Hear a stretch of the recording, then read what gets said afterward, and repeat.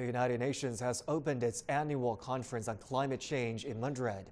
The two week event was supposed to take place in Chile, but was moved due to civil unrest in the country. COP25 is expected to lay the framework for a new phase of climate action from 2020. Ahead of the meeting, the UN chief stressed the importance of making key decisions as soon as possible so as to limit the emissions that cause global warming. Our Guy Henderson has more.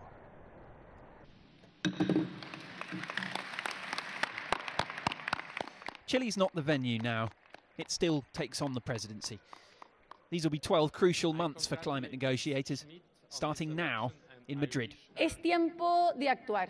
No es un The pledges made by countries in 2015 are not enough. We need to make new pledges that are more ambitious that include all aspects of climate action. Some 50 world leaders are expected here over the next two weeks or so, many of them under huge pressure to do far more than they're doing now.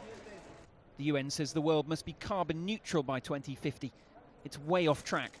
The hosts of that landmark Paris meeting four years ago, amongst those extending their commitments. In France, that happens, for example, via the decision we took, and which takes into effect in 2022, to close all of the coal power stations in the country. The highest profile US delegate here is a Democrat, House Speaker Nancy Pelosi, who says there is still a way back from Donald Trump's decision to pull America out of those Paris Accords. for future generations.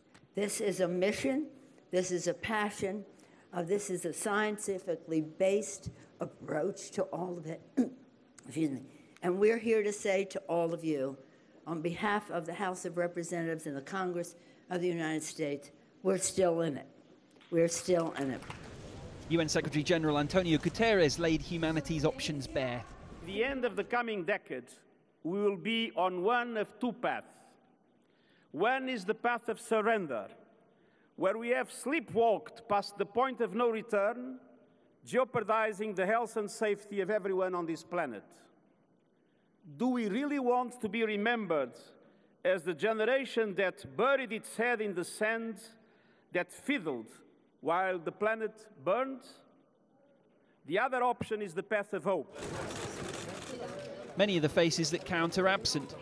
They'll all need to come together at some point and on much more than a photo opportunity. Guy Henderson, CGTN, Madrid.